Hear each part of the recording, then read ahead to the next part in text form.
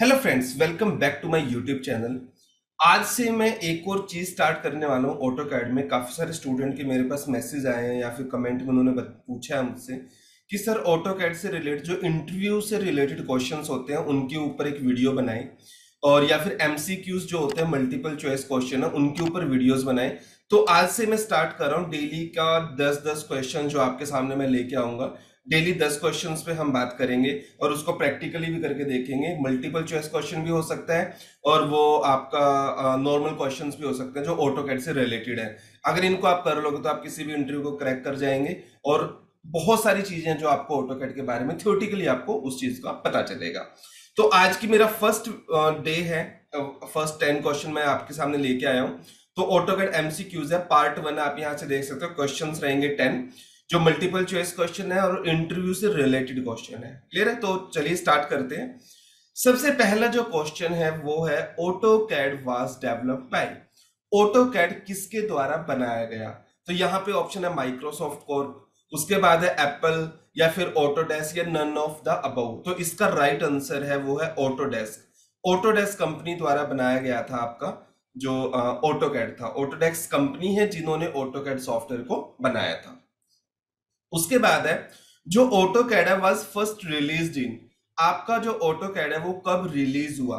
तो उसका जो राइट right आंसर यहाँ पे रहेगा, वो है दिसंबर 1982 में रिलीज़ हुआ था ऑटो कैड दिसंबर 1982 में आपका ऑटो कैड यहाँ पे रिलीज़ हुआ था, जो आप यहाँ पे नोट कर सकते हैं। Clear what is CAD CAD क्या है?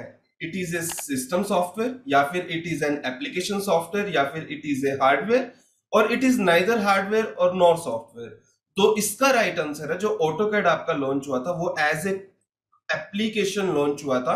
तो इसका आपका जो आंसर है, वो है it is an application software इसका आंसर रहेगा it is an application software उसके बाद है how many work space are available in AutoCAD AutoCAD में कितने वर्क स्पेस अवेलेबल रहते हैं? तो इसके लिए मैं ऑटो कैड पे चलता हूँ तो आप यहाँ पे देखेंगे, ऊपर आपका वर्क स्पेस है। अगर ना दिखाई दे तो ड्रॉप डाउन पे जाएँ और यहाँ पे वर्क स्पेस को आप ऑन कर लें।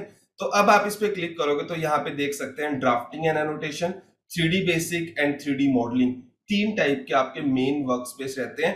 ड्राफ्टिंग एंड एनोटेशन रहता है फॉर टू ये जितने भी टूल्स आपको नज़र आ रहे हैं, वो सारे टू के हैं। सीडी बेसिक्स पे क्लिक करोगे तो यहाँ पे थ्री के कुछ बेसिक्स टूल आ जाएँगे जो आप इंटीरियर आर्किटेक्चर में यूज़ करते हैं। और अगर आप थ्री मॉडलिंग पे क्लिक करोगे तो यहाँ पे सारे टूल्स आपके थ्री बेसिक के साथ साथ एडवांस टूल आ जाएँगे जो हम मैकेनिकल में बेसिकली यूज़ करते हैं। तो इसका राइट right आंसर रहेगा कि हमारे पास तीन रहते हैं।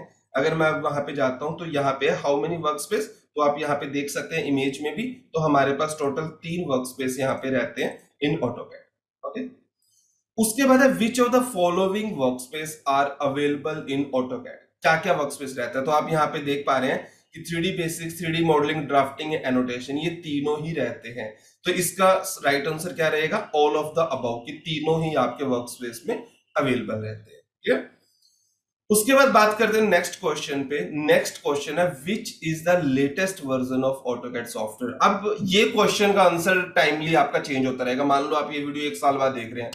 अभी 22 चल रहा है और uh, टू में ही अब ये लगा लो कि मई चल रहा है 23 आपका लॉन्च हो चुका है क्लियर है? तो जैसे ही आपका एक ईयर स्टार्ट होता है उससे पहले ही साल में नेक्स्ट ईयर का आपका सॉफ्टवेयर वर्जन लॉन्च हो जाता है। तो आज की अगर बात करूँ तो लेटेस्ट जो वो है वो है मेरा 2023 तो जिसका राइट आंसर है ऑटो कैट 2023 तो आप 23 इंस्टॉल कर सकते हैं। उसके बाद which of the following is is the extension for AutoCAD drawing file ji AutoCAD की ड्राइंग फ़ाइल को जब आप सेव करते हो, वो किस एक्सटेंशन में सेव होती है? एक्सटेंशन क्या होती है बता देता हूँ। जैसे आप ऑटोकैड पे जाओगे तो यहाँ पे आप देख सकते हैं, ऊपर जो टाइटल बार है, वहाँ पे ड्राइंग वन के बाद लिखा हुआ है dot D W G dot D W G AutoCAD की एक्सटेंशन होती है। फॉर एग्ज़ाम्पल जैसे आप एम पी थ्री सेव करते हो जहाँ पे भी डॉट एम थ्री लिखा हुआ मिले तो आपको लगेगा कि ये ऑडियो सॉन्ग है। एम फोर आए तो वीडियो सॉन्ग है। तो ये एक्सटेंशन होती है। तो जहाँ पे भी आपकी फ़ाइल के पीछे डॉट डीडब्ल्यू जी लिखा हुआ है, वो आपकी ऑटो कैड की बेसिकली फ़ाइल है। क्लियर है? तो इसका राइट right आंसर जो रहेगा यहाँ पे, वो रहेगा डी डब्ल्यू जी जो एक्सटेंशन ऑटो कैड की वो है डॉट डी डब्ल्यू जी यहाँ पे भी आप देख सकते हो, ये आपकी ऑटो कैड की एक्सटेंशन है। क्लियर उसके बाद how many units are available in AutoCAD AutoCAD में कितनी यूनिट अवेलेबल रहती है? अगर मैं ऑटोकैड में जाऊँ और यू एन एंटर करूँ तो आप यहाँ पे देखोगे टाइप्स में पाँच टाइप के आपके यूनिट्स हैं। Architectural decimal engineering fractional and scientific normally architecture में हम या इंटीरियर में हम फ्रैक्शनल एंड साइंटिफिक यूज़ नहीं करते, हम बेसिकली तीन यूज़ करते हैं। Architectural and decimal is for feet inches जो आपकी इंपीरियल यूनिट होती है and decimal is for metric unit जैसे मिलीमीटर हुई सेंटीमीटर मीटर किलोमीटर उसके लिए हम डेसिमल यूज़ करते हैं। तो टोटल जो यहाँ पे यूनिट है, वो पाँच यूनिट है। तो जो इसका राइट right आंसर आपका रहेगा, वो रहेगा फाइव तो टोटल यूनिट यहाँ पे फाइव होती है, जो आप यहाँ पे भी देख पा रहे हो, एक इमेज मैंने यहाँ पे भी लगाई है। तो यहाँ से भी आप देख सकते हो तो फाइव यूनिट है। ठीक है उसके बाद है which key is use to obtain properties palette in AutoCAD अगर मैं ऑटो कैड में जाऊँ तो कौन सा शॉर्टकट है जो प्रॉपर्टी पैलेट को ओपन करता है? Control one two three four अब ऑटो कैड में चलते हैं। अगर मैं कंट्रोल प्लस वन प्रेस करता हूँ तो आप देखोगे प्रॉपर्टी पैलेट ओपन हो गया। तो इसका राइट आंसर रहेगा आपका कंट्रोल प्लस वन बट अगर आप कंट्रोल टू प्रेस करते हो तो इससे आपका क्या डिज़ाइन सेंटर ओपन हो जाएगा? आप यहाँ पे देख सकते हैं। कंट्रोल थ्री अगर आप प्रेस करोगे तो आप यहाँ पे देखोगे, आपका जो ये है टूल पैलेट्स ये ओपन हो जाएगा और कंट्रोल फोर अगर आप प्रेस करोगे तो यहाँ पे शीट सेट मैनेजर आपको ओपन हो जाएगा। तो इसके लिए हमारा राइट आंसर जो रहेगा कंट्रोल प्लस वन प्रेस करके हम इस चीज़ को ओपन कर सकते हैं।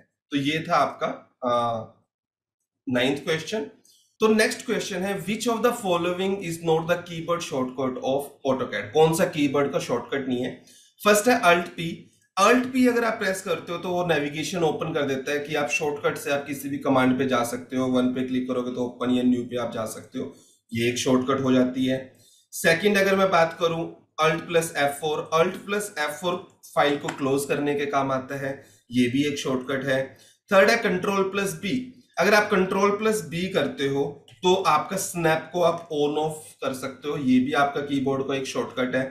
बट नेक्स्ट है आपका कंट्रोल प्लस फाइव अगर आप कंट्रोल प्लस फाइव प्रेस करते हो तो कुछ भी यहाँ पे नहीं होता है। तो ये आपका कीबोर्ड शॉर्टकट नहीं है इन ऑटोकैड तो ये आप यहाँ से इसका राइट आंसर जो रहेगा, वो रहेगा कंट्रोल प्लस फाइव जो आपका कीबोर्ड का कोई भी शॉर्टकट नहीं है। तो ये थे आज के दस क्वेश्चन आशा करता हूँ आपको अच्छे लगे होंगे।